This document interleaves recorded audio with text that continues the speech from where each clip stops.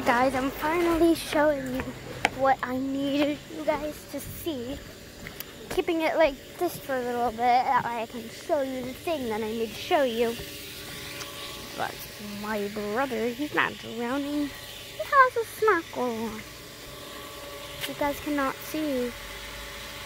Look.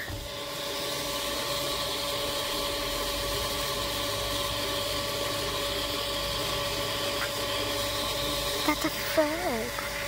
The frog is literally stuck in my Pop Pop's umbrella.